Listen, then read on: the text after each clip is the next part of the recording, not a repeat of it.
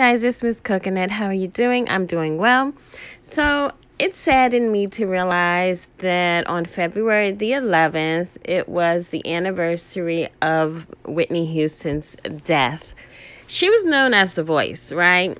We can't even say who had a voice like hers, who's comparable to her voice. I don't know anybody. Okay? Even after repeated alleged drug use and abuse, and her voice changed, she still had a very melancholy resonance to her voice. Anyway, we all were in love with Whitney, right? And as tumultuous as her life was, her death and burial were very strange. Even stranger than her life, I think. So, for example, when she was found, someone had taken her driver's license out of her wallet. I don't know what that did in this scenario because obviously she's Whitney. They say she drowned in like a, I think, an inch of water.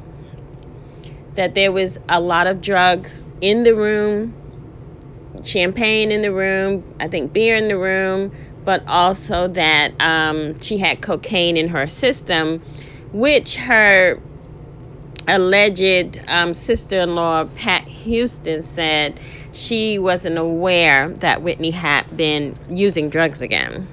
Anyway, there was a lot of speculation about um, the idea that maybe this was one of those Hollywood type of takeouts. You know what I'm trying to say?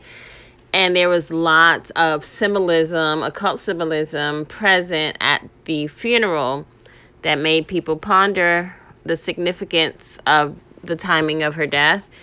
But you know what I thought was interesting is that at the time of her death, she was worth $20 million. All of that money went to Bobbi Kristina, her only child.